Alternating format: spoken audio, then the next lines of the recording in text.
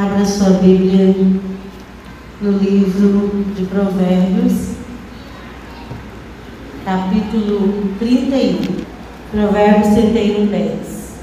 Mulher virtuosa, quem a achará? O seu valor muito excede o de finas joias. O coração do seu marido confia nela, e não haverá falta de ganho. Ela lhe faz bem e não mal todos os dias da sua vida. Busca lã e linho e de bom grado trabalha com as mãos. É como o navio mercante, de longe traz o seu pão.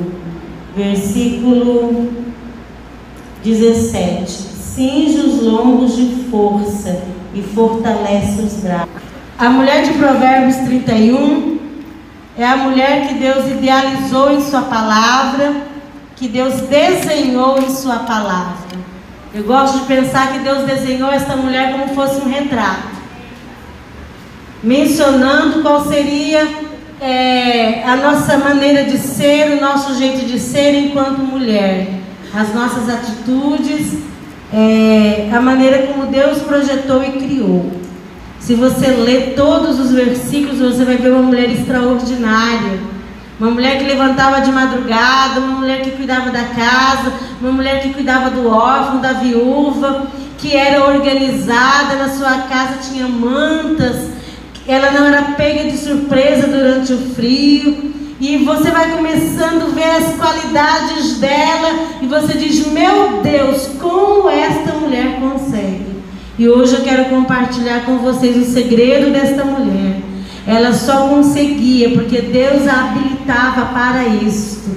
Ela só dava conta de ministrar na vida do marido, de ministrar na vida dos filhos, de ministrar na comunidade, de ser uma mulher de, de força e de coragem, porque Deus a fez assim. E nesta noite Deus vai te capacitar. Nesta noite Deus vai te habilitar. Talvez você está tão cansada, tão desanimada diante de tantas provas. Nós somos uma geração de mulheres cansadas. Algumas mulheres aqui têm carregado todo o fardo da sua casa nos seus ombros. Algumas mulheres aqui têm carregado o fardo dos filhos, o fardo do marido, o fardo do emprego e, e tantos outros fardos. Mas nesta noite Jesus diz: Vinde a mim, vós que estáis cansadas e sobrecarregadas, e eu vos aliviarei. O Senhor nesta noite te chama para trazer o teu cargo, para trazer o teu fardo pesado e colocar diante dele. E ele vai renovar as suas forças para você viver tudo aquilo que Deus projetou para você eu estudando sobre a mulher de Provérbios 31.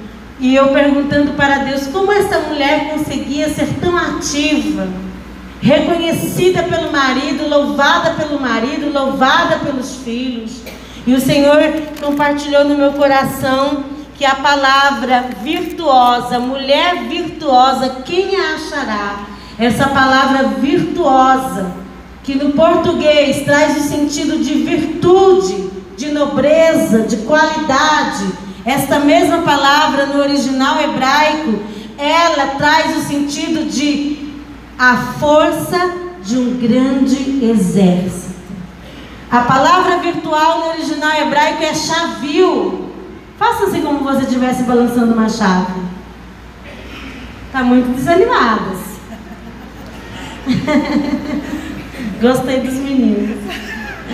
Chavil. Não esqueça dessa palavra. Essa palavra vai trazer significado para a sua vida.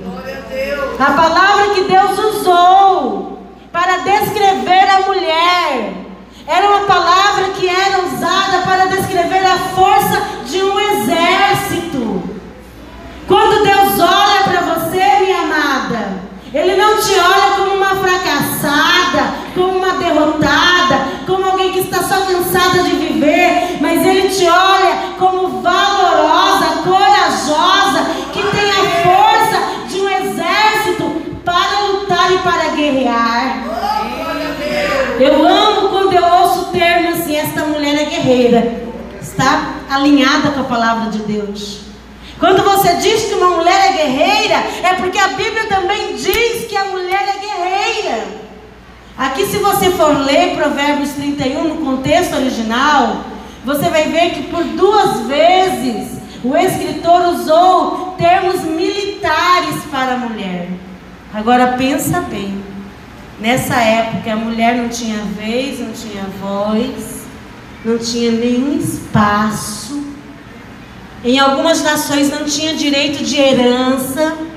Essa mulher, ela era tão desvalorizada que se ela queimasse o pão, moças, ela poderia ganhar a carta de divórcio a mulher era praticamente descartável, considerada segunda classe. Agora Deus vai e escreve a parte de um capítulo sobre a mulher que ele criou. Que não é ser inferior, que não é de segunda classe. Porque Deus Minha querida, você é amada do Pai, valorizada por Ele e criada por Ele. Aleluia. Aleluia.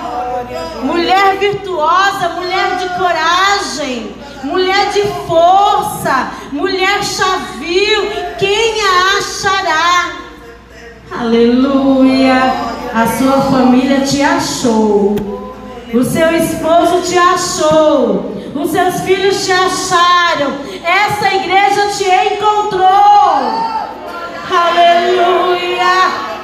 E essa igreja espera que você cumpra com excelência a mulher de coragem e a mulher de força. Eu sei que sozinha talvez você não consegue. São tantas coisas da hora que amanhece até a hora que anoitece mas a graça do Senhor é suficiente. O poder de Deus se aperfeiçoa nas nossas fraquezas. E o poder de Deus vai se aperfeiçoar na vida de mulheres aqui, na vida de homens aqui, para que vocês se levantam e cumpram os propósitos do Senhor. Esta mulher, ela era capacitada por Deus para fazer tudo aquilo que ela fazia. No versículo de número 16, 17 diz: Cinge os lombos de força e fortalece os braços. No versículo 25 diz: A força e a dignidade são os seus vestidos. Olha que mistério. Essa força, aqui Deus me fez entender, inclusive se Deus permitir, eu vou estar lançando um outro livro esse ano, que é justamente esse tema, vestida de força. No versículo 17 fala de uma força que era natural dela. Toda mulher e todo homem tem uma força natural dele. Cinge de força. Ela precisava se cingir de força. E já no versículo 25 fala de uma força que vem do alto. Existem momentos que nós precisamos nos posicionar para não ficar prostradas. Existem situações que a gente mesma, tanto o homem quanto a mulher, precisa tomar atitudes para não ficar prostrados. Quantas pessoas entram na depressão? Quantas pessoas estão em cima de uma cama doente, porque uma hora ou outra deram espaço para que o desânimo chegasse, para que alimentasse aquela situação emocional e ficasse enferma. O Senhor me fez entender isto. Um certo dia nós estávamos passando uma prova. Quando nós chegamos aqui em São Paulo, a gente passou o primeiro ano de muita prova mesmo. O serviço que meu esposo veio para trabalhar, chegou aqui não deu certo. E a gente começou a trabalhar, meu esposo e meus filhos de Uber, para a gente se manter. Ele deixou o emprego de 15 anos lá no Mato Grosso e de repente a gente chega aqui e aí a gente fica numa situação é, de desempregados. E naqueles dias de prova, de dificuldade, longe de parente, longe de todo mundo, portas fechadas, os meus filhos trabalhando de Uber. De repente o carro começa a estragar semana após semana. Foi estragando uma semana, foi estragando outra, de repente estragou o motor. 15 dias na oficina com o motor estragado. Quando tirou da oficina, com uma semana, meu filho com o carro parou em frente de uma padaria. De repente, quando ele viu, o carro desceu sozinho, atravessou uma avenida movimentadíssima. Deus guardou e o carro bateu no poste lá do outro lado. E eu já estava tão debilitada emocionalmente. Só de oração, só diante do Senhor. E o meu filho chega com essa notícia. Mas um dia antes eu havia meditado neste versículo. E o Senhor havia compartilhado no meu coração que existe uma força dentro de nós e que no momento da adversidade a gente tem que se colocar de pé e dizer para Deus: Deus, eu sei que eu sou limitada, mas me ajuda, Senhor. E naquele dia, na hora que meu filho chegou com aquela notícia que havia batido o carro, e anteriormente, amadas, para que vocês entendam, eu tenho um problema de saúde que no, meio, no ano de 2017 me deixou três meses em cima de uma cama, que é a fibromialgia, e é totalmente relacionado ao emocional. Irmã Simone, quando eu recebi aquela notícia, eu entrei no meu quarto e eu disse para Deus, Deus, e agora, Pai? Chorando em lágrimas. Se eu deitar amanhã, eu vou amanhecer doente, porque a fibromialgia, ela é assim. Você deita boa e você acorda como um caminhão tivesse passado em cima de você. Não existe onde não dói no seu corpo. E como o baque foi grande naquele dia e de vários dias, eu olhei para minha cama e disse: Senhor, e agora, Deus? Eu vou deitar. E se o Senhor não tiver misericórdia, amanhã eu não vou levantar. Porque o Senhor conhece as minhas limitações o Senhor conhece as minhas fraquezas. E eu ouvi o Senhor falando no meu ouvido naquele dia: cinge os lombos de força. Aleluia. Eu ouvi o Senhor dizendo: Adriana, aperta o cinto. Aleluia. Esse versículo era usado pelos soldados ao sair para a guerra. O soldado ele pegava uma cinta e ele apertava essa cinta na sua cintura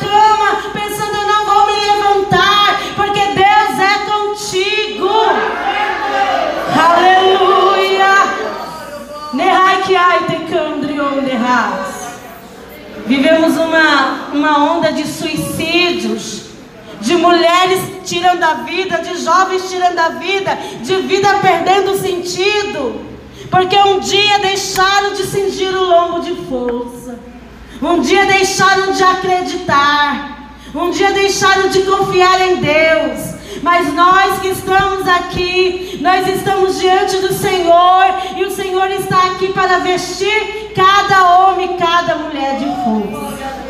Aleluia. Aleluia. O versículo 25 diz: A força e a dignidade são os seus vestidos. Minha irmã, Deus vai tirar esse vestido de fraqueza esse vestido de desânimo.